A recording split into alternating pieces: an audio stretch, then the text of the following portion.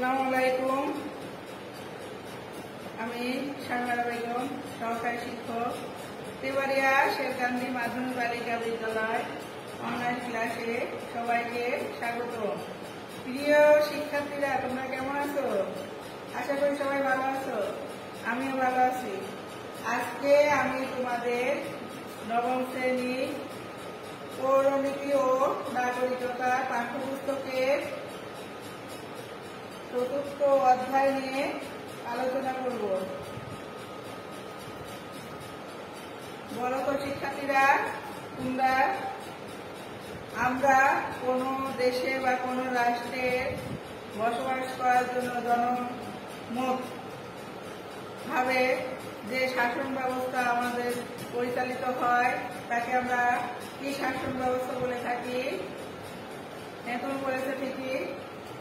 তাকে আমরা গণতান্ত্রিক শাসন ব্যবস্থা বলে থাকি।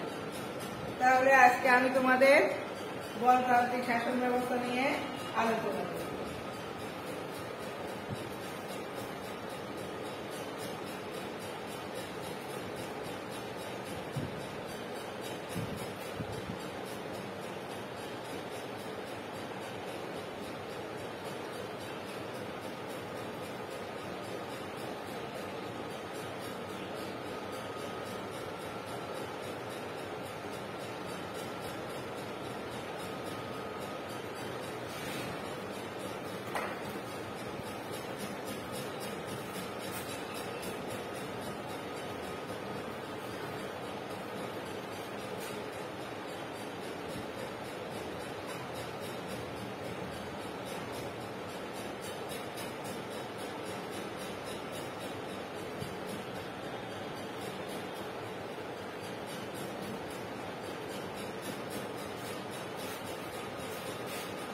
এই পাঠের শেষে তোমরা গণতন্ত্র সরকার কি গণতান্ত্রিক শাসন ব্যবস্থা কি সেই সম্পর্কে বলতে পারবে, এই পাঠের শেষে তোমরা সরকারের গণতান্ত্রিক সরকারের গুণ ও দোষগুলো সম্পর্কেও বলতে পারবে।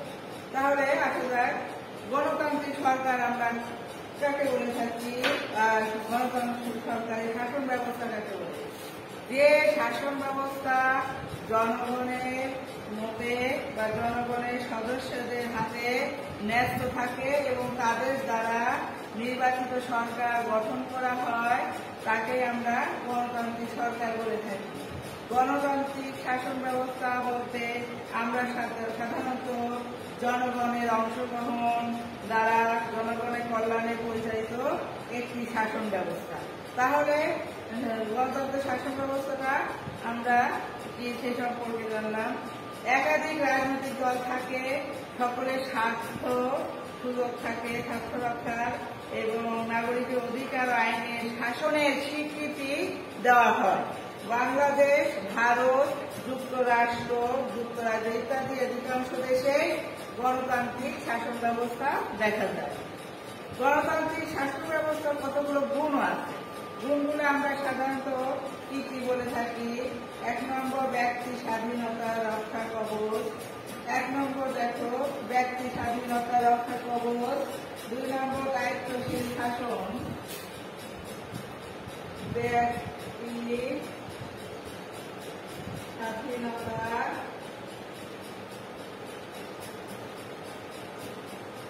ব্যক্তি স্বাধীনতা রক্ষা কবচ।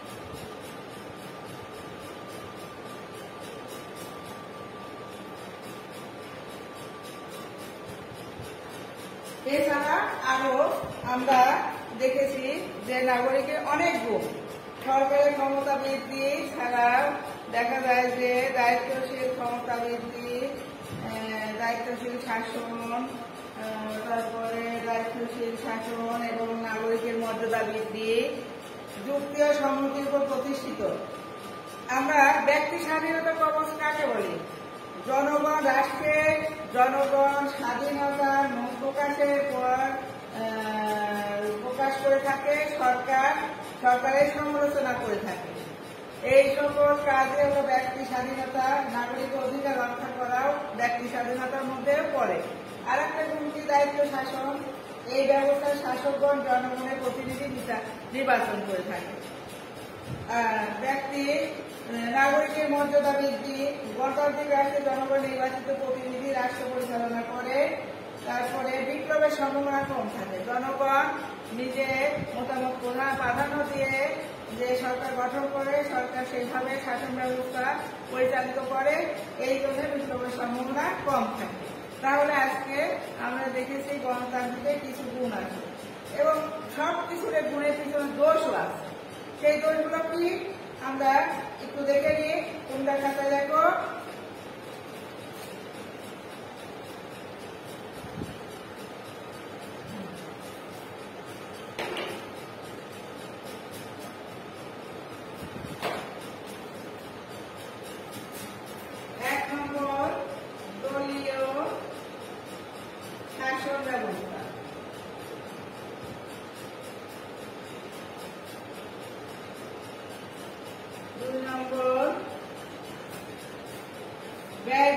অর্থের অপচয় হয়।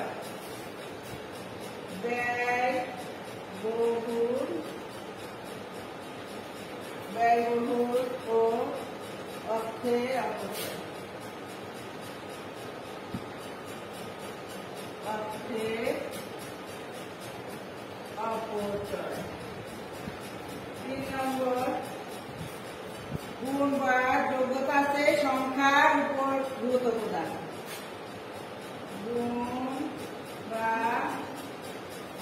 যোগ্যতা উপর উপর গুরুত্ব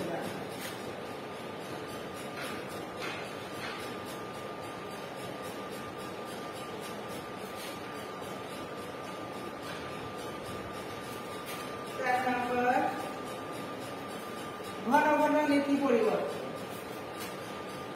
ঘন নীতি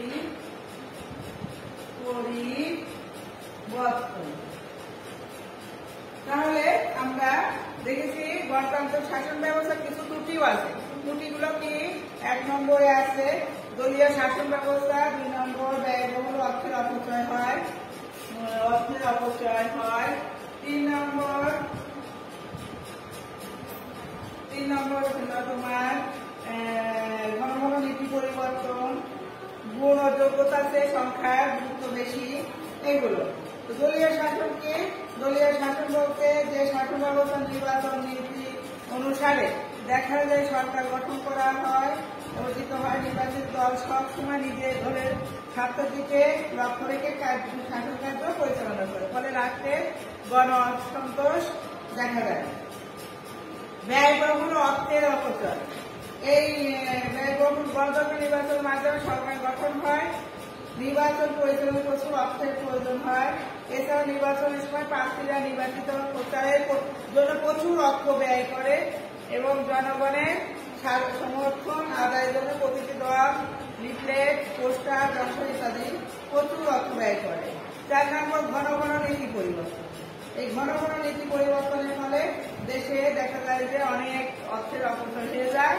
সরকার গঠন করার ফলে সরকার কোনো পরিকল্পনা বাস্তবায়ন করতে পারে না। এতে দেশে অনেক রকম ব্যাখ্যা কাজের ব্যাখ্যা সৃষ্টি হয়। আর আরেকটা হচ্ছে যোগ্যতাকে সংখ্যার উপর গুরুত্ব প্রদান করা হয়। গণতন্ত্র নির্বাচনের মাধ্যমে জয় পড়াতে নির্বাচন করা হয়। এতে সংখ্যাটাই আমরা বেশি দেখি। কার কত সংখ্যায় ভোটে বেশি পেয়েছে এবং এতে জয়ী হয়েছে? তাহলে আজকে আমরা গণতন্ত্র সরকার কাকে বলে? গণতন্ত্র সরকার শাসন ব্যবস্থা কি? এর গুণগুলো কি কি? এর দোষগুলো কি? সেই সম্পর্কে তা- শিক্ষার্থীরা, তোমরা সবাই এই গণতান্ত্রিক শাসন ব্যবস্থা নিয়ে সবাই মোটামুটি কিছু জেনেছ। আজকে আমি তোমাদের মোটামুটি কিছু তোমরা জেনেছ। আমি আগামী ক্লাসে গণতন্ত্রের তোমাদের একমাত্র শাসন ব্যবস্থা নিয়ে আলোচনা করব। আজ এই পর্যন্ত তোমরা সুস্থ থাকো। ধন্যবাদ সবাইকে।